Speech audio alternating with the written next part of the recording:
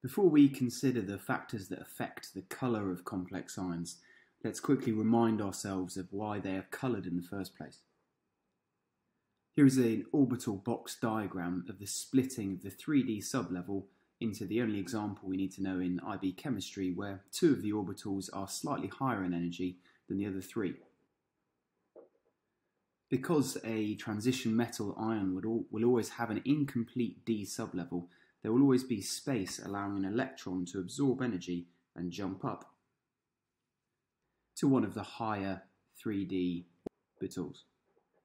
Because this process absorbs a specific wavelength of visible light, the colour of the solution that we observe will be the complementary colour to that wavelength. Remember that we can identify the complementary colour using the colour wheel found in the data booklet. So if, for example, the wavelength of light absorbed by the electron transition was found in the yellow part of the visible spectrum, we would predict the colour of the solution to appear violet, which is opposite yellow on the colour wheel. It's the size of the energy gap between the split D sublevel that affects the colour that's absorbed and therefore the colour that's observed in my solution. And the size of that energy gap is affected or influenced by the amount of interaction between the lone pair on the ligand and the d orbitals. Let's have a look at that in a generic example.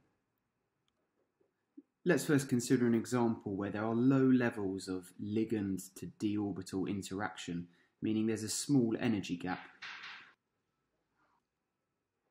because this is a smaller energy gap, let's imagine that it corresponds to the absorption of light with a wavelength of about 600 nanometers, and this would be in the orange part of the visible spectrum.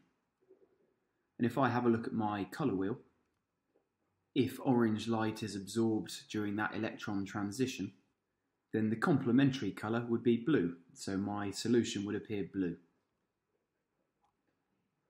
Now let's see what happens when we change the amount of interaction between the ligand and the d orbitals. Let's consider um, an example where there are high levels of ligand to d orbital interaction. You can see that because of these high levels of interaction, we have a much larger gap in energy between my split d sublevel. And this means that an electron transitioning up to one of the higher d orbitals would need to absorb light of a higher energy or a shorter wavelength. So let's now imagine that it's absorbed uh, light with a wavelength of 500 nanometers, which is found in the green part of the visible spectrum. And in order to find the complementary colour, I look at the opposite side of the colour wheel to green, which would be red. So in this comparative example, we can see how the amount of interaction between a ligand and the d orbitals can change the splitting and therefore will change the amount of energy absorbed for an electron transition, which in turn will affect the colour that we observe in the solution. So for IB chemistry, we now need to consider the three factors that can affect the amount of interaction between ligands and d orbitals. We'll start off with the first one, which is the identity of the metal ion. As with any elements in the periodic table, the identity is defined by the number of protons it has in the nucleus. So if, for example, I have more protons in one metal ion than another, there will be a greater attraction towards the negative or partially negative ligands in the solution. And if there's a greater attraction, i.e. pulling them closer, there's going to be more interaction between those ligands and the d orbitals.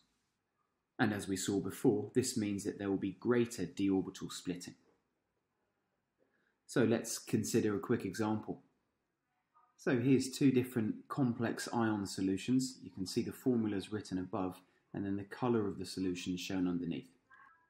And here's a bit of information about the number of protons and electrons in the transition metal in each case.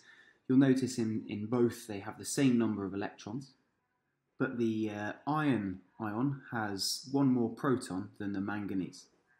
So we'd, we'd expect to see a greater amount of D sublevel splitting in the complex ion on the right hand side compared to the left. Let's see if we can identify this effect using the colour wheel. The manganese complex ion appears red, therefore it must have absorbed the complementary colour, which in this case is green. The iron complex ion on the right hand side appears a kind of orangey colour. Therefore, it must have absorbed in the blue part of the visible light spectrum. And as predicted, the Fe complex ion has absorbed blue light which has a shorter wavelength than the green light absorbed by the other ion because of the greater splitting of the D sublevel. Let's now consider the second factor that we need to be aware of. So we now need to consider the impact of the oxidation state of the metal. And by oxidation state, we're really talking about the charge on the transition metal ion before it formed a complex ion with ligands. So if I had a higher initial charge on the metal ion, we would expect to see a greater attraction towards ligands in the solution, and therefore a greater interaction between ligands and the d orbitals. Again, this would lead to greater d orbital splitting. Let's see if we can consider this in an example. Again, in this, uh, in this example, we can see two different complex ions.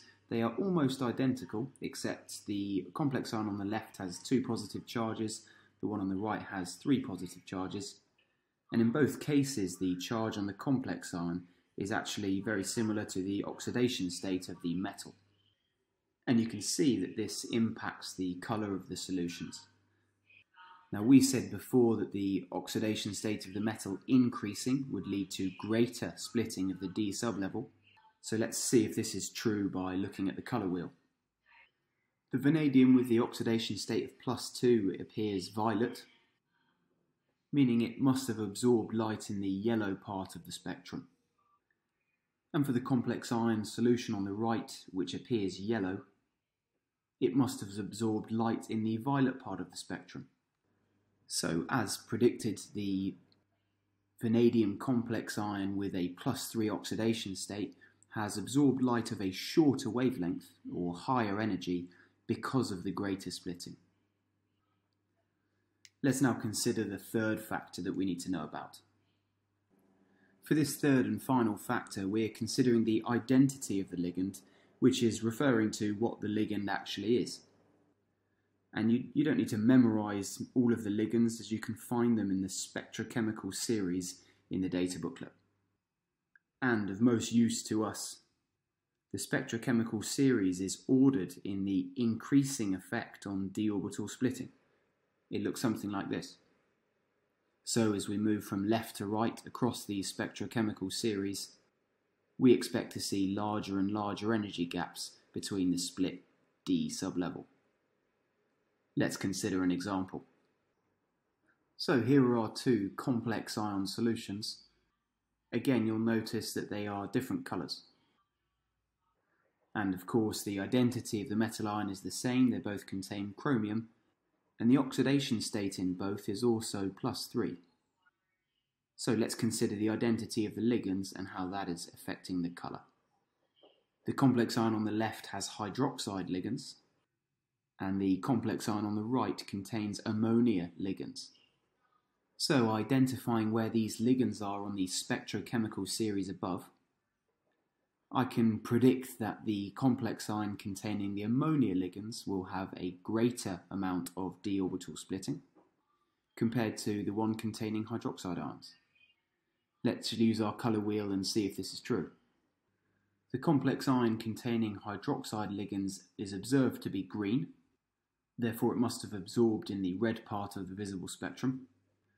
And the complex containing ammonia ligands uh, is observed to be violet, so must have absorbed in the yellow part of the visible spectrum. And as predicted, the complex ion containing ammonia has absorbed light of a shorter wavelength or greater energy because of the greater splitting caused by those ligands. Let's now try and summarize the key points from this video. Firstly, the size of the energy gap in d orbital splitting determines the colour of a complex ion. And there are three factors that affect the size of this energy gap. The first one is the identity of the metal ion, effectively the number of protons it has in the nucleus. The second one is the oxidation state of the metal, Remember that this is effectively the charge of the ion before it forms a complex ion with ligands. And the third is the identity of the ligands themselves. And you can find more information about those and the spectrochemical series in the data booklet. It's also worth noting that the geometry of a complex ion can affect d orbital splitting, but it's actually not required for IB chemistry. Hopefully, this video was of some help.